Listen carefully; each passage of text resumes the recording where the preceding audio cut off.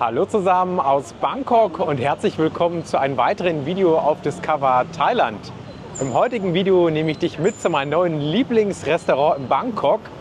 Ich bin unterwegs in Silom und hier hinter mir verläuft die ja, BTS-Linie. Das heißt, wir können das relativ leicht erreichen über die Station Saladeng. Und dann müsst ihr hier zu dieser Straße hinlaufen, zu Silom Soi Nummer 3 und einmal hier rechts abbiegen ist auch ganz leicht zu finden, denn hier ist das Headquarter der Bangkok Bank.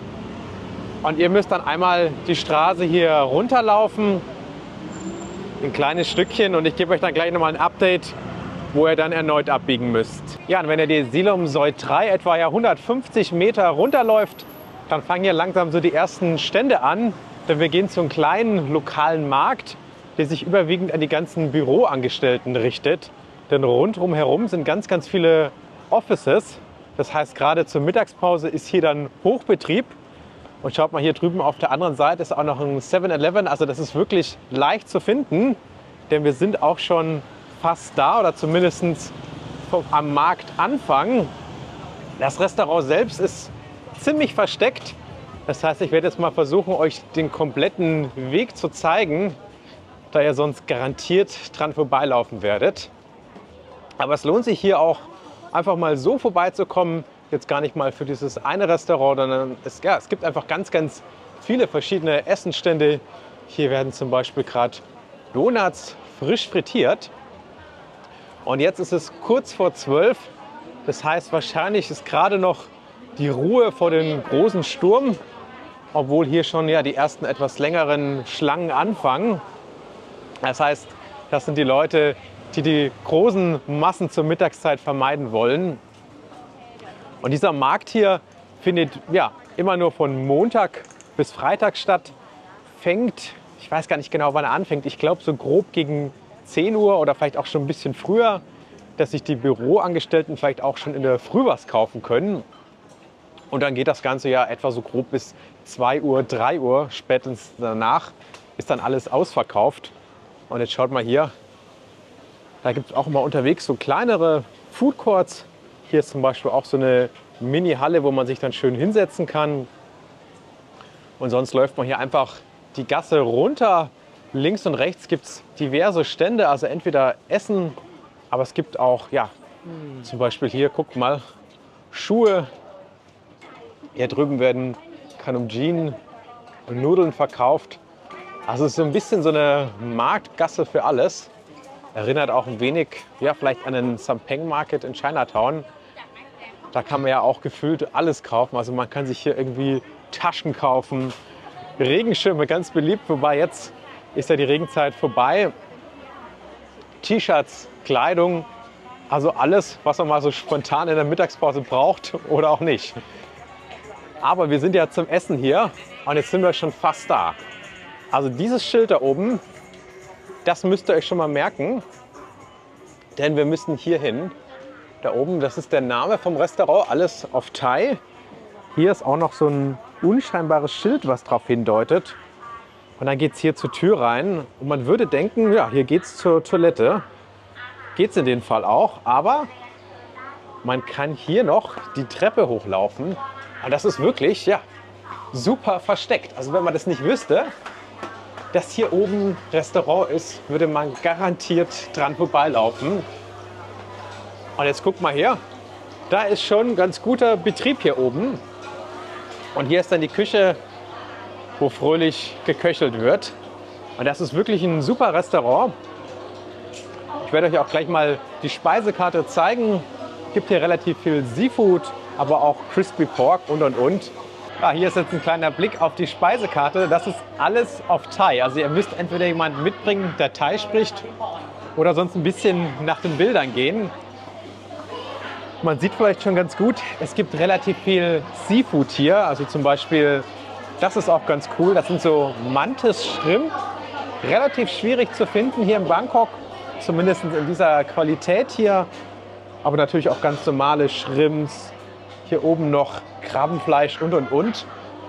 Aber ich glaube, ich werde mir heute das hier bestellen. Das ist so eine Art Pat Krapau mit Crispy Pork.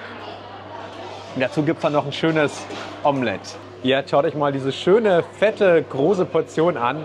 Hat 100 Thai Baht gekostet.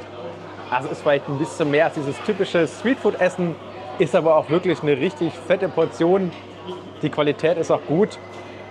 Und ich habe auch gerade schon so ein kleines Stückchen hier schnapuliert, um es einmal zu probieren. Aber guckt euch das mal an, diese ganzen Krapau-Blätter, dazu noch dieses etwas leicht softe Omelette, wo das Eigelb halb rausläuft. Und das jetzt mal alles in ein Bissen.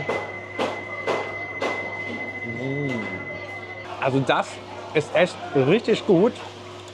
Man hat in diesen typischen Krapau-Geschmack, also von den Krapau-Blättern, dazu noch den Knoblauch, die Chilis. Mein Highlight, dieses Omelette hier, was noch richtig schön soft ist, wo das Eigelb rausläuft. Also das müsst ihr unbedingt probieren. Ihr könnt das Ganze auch mit Seafood machen. Also Seafood ist hier auch top. Aber ich hatte heute irgendwie Lust auf Crispy Pork. Und ich würde sagen, ich schnapuliere jetzt mein Mittagessen hier. Und dann sehen wir uns gleich draußen nochmal. Denn dort gibt es noch eine weitere Sache, die ich euch zeigen möchte. Ja, das war jetzt echt ein super Mittagessen. Hier hinten nochmal der Eingang, dieses grüne Schild hier. Bisschen schwierig zu finden. Aber ich glaube, wenn ihr den Anweisungen im Video folgt, sollte das klappen. Und ich entschuldige mich schon mal ganz kurz an der Stelle für die etwas schlechtere Audioqualität. Denn der Akku vom Funkmikrofon ist gerade während dem Essen leer gegangen.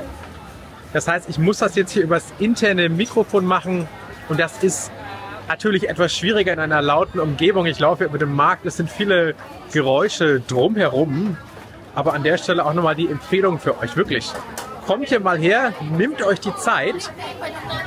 Von Montag bis Freitag hat dieser Markt hier geöffnet und es dreht sich so alles grob um die Mittagszeit. Das gleiche gilt auch für das Restaurant. Also wenn ihr da am Wochenende hingeht, wird das höchstwahrscheinlich geschlossen haben. Oder ich bin mir, ich glaube, ich habe sogar mal nachgeguckt auf Google Maps. Das hat dann zu, also ihr müsst auch unter der Woche herkommen. Und von hier aus ziehen wir jetzt noch ein paar Straßen weiter. Denn ganz hier in der Nähe gibt es meinen ja, Lieblingsfruchtstand. Und der verkauft Cold Pressed Juice, also frisch gepressten Saft. Und das möchte ich euch auch noch kurz zeigen. Ja, inzwischen bin ich bei der Saladeng Road angekommen. Das heißt, wenn ihr von der BTS-Station kommt, könnt ihr direkt hier erst hergehen. Und hier ist auch schon der besagte Fruchtstand. Guckt euch das mal an. Hier sieht man schon die ganzen schönen Früchte, die gekühlt werden. Und jetzt kann man sich das individuell zusammenstellen. Sawadikap, Au, King, Saparot, Beetroot, ähm, มะ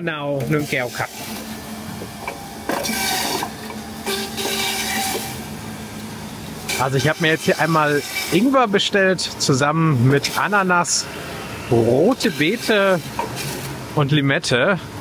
Also eine wilde Kombination. Das wird hier jetzt alles schön frisch gepresst.